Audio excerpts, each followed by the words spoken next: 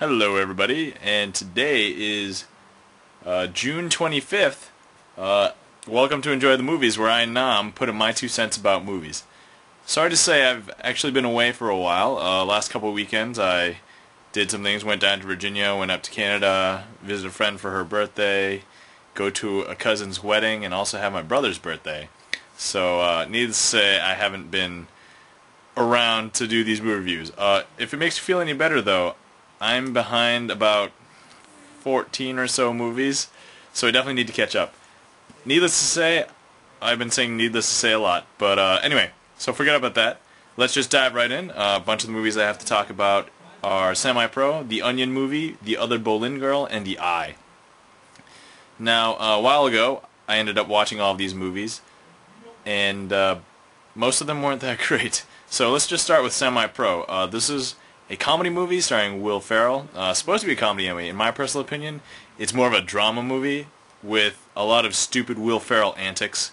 So he does his stupid Will Ferrell antic things, and it turns out to be more of a drama with him doing stupid things in it. So, uh, if you don't know the premise of this movie, Will Ferrell's character Jackie Moon is actually a singer gone basketball player with his own basketball team. And if you ever saw the spoiler, that movie where you see him sitting around with a bunch of other people deciding, oh, which teams are going to go into the NBA and the rest of the league is going to dissolve. And he basically ends up trying to promote all these things so that his team can go.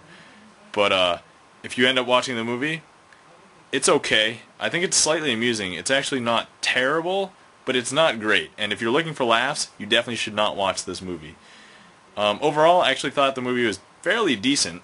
I'd probably say if you're looking for a drama-ish kind of movie with stupid antics, so if you like some of the other Will Ferrell movies as of late, um, not all of his movies have been that great in my personal opinion, but uh, I think he's still a good actor because he takes everything over the top, so it's okay.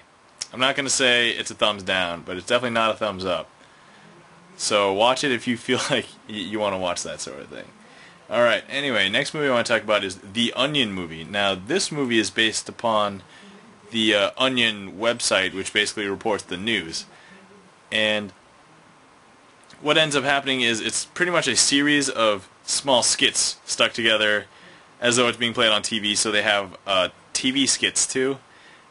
Uh, well, commercial skits. So it's as though you're watching a TV and things happen on it and there's this plot of like things that happen in the newsroom. But overall, it's slightly amusing, but I definitely don't recommend it. It's not really that great. I didn't like it that much. I laughed a few times, but that's because I'm e easy to amuse. And I laugh at pretty much everything, so it's not a huge deal. Uh, definitely didn't like this movie. Didn't think it was that great. So, The Onion movie, I'm going to say thumbs down. Uh, sorry I'm so calm and I'm not really excited today because I'm really tired.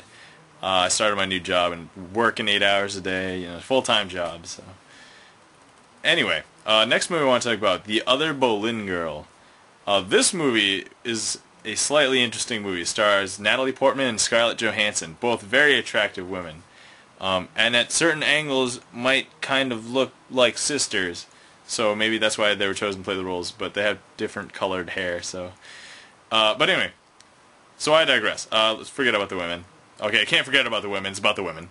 So it's about these two women and uh, their brother and how they get involved in this strange plot for uh, trying to take over a kingdom, pretty much. Not really that simply, because there's a lot of drama that goes on and a little bit of antics, and one sister is a little bit more evil than the other, and the other one has a conscience. And anyway, uh, done in the old Victorian or not Victorian, colonial. I don't even know what the word is, but it's done in that old style way back when. And uh, you know, lords and ladies, princes and princesses, and all that fun stuff. Anyway, I thought this movie was very slow. It's pretty boring, but the plot is actually really solid. So if you like uh, intrigue or political type things, it's probably worth a watch, and you like it anyway. If not, that you know, two women are great actresses. Like the, the entire movie, great acting, great dialogue it's just slow as hell. So I'm gonna say it's actually a good movie. I didn't really enjoy it that much though, so um, I don't know whether to give it a thumbs up or thumbs down. So in certain situations like this, it's always hard. So I have to, you know, kind of draw the line somewhere. But uh, I'm probably going to say it's actually a good movie. It's actually really well done. It's, it's just boring and, and slow, which, you know, you've seen movies like these before, so. anyway, last movie I want to talk about, just to get things rolling so I could start uh, cutting away at this long stack of movies to catch up with. The Eye, uh, starring Jessica Alba. Now, this movie, not sure if you ever heard of the original Eye, which I had done a preview for a long time ago, or not a preview, a review uh, with of um, foreign Asian horror films. Uh, I think I said it was like Japanese or something, but it's actually Chinese, the original one. So this movie, The Eye, The American Eye, takes pretty much almost everything directly from the original Chinese version. And what ends up happening is I actually thought the movie was pretty good. It's not scary at all, though. Uh, there's a couple surprises, and Jessica Alba is just way too pretty. So if you get scared at any moment, you just look at her, and it's like, oh, it's everything. Everything's okay. So, needless to say, this movie I didn't think was original at all because it pretty much took all the elements from the original Eye, which was good, and I enjoyed the original Eye, and pretty much put it in English with uh, you know a couple of minor detailed changes, just you know for logis- logistical purposes. And that's pretty much it. So I thought the movie itself wasn't bad, but it's just not original. So I want to say that the movie was okay. Uh, if you like horror films, this isn't really scary, but if you like a good story, definitely recommend. Uh, more of like a, a, mystery movie, in my personal opinion. So, and Jessica Alba's acting in this one was, eh. Like I don't think she had any special roles or any special. Uh, what's the word I'm looking for? Oh, I had so many brain farts today.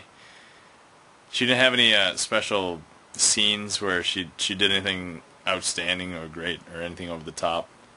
So I to say that the eye was okay. So if you're a huge horror fan, probably thumbs down because it's not scary at all. If you like good drama, good story, good mystery, thumbs up. Everybody else, if you care, watch it. Otherwise, just forget about it because it's not really that important. I mean, it follows along with all the other movies that have been coming out. They're all horror movies, so can't say I've seen many of them, but you know, The Mist, One Missed Call, stuff like that. All right, um, so that wraps up today's episode, and uh, hopefully I'll get some more out soon. Sorry for the two-week delay, because I've been busy, but anyway, you guys have a good night. Enjoy the movies.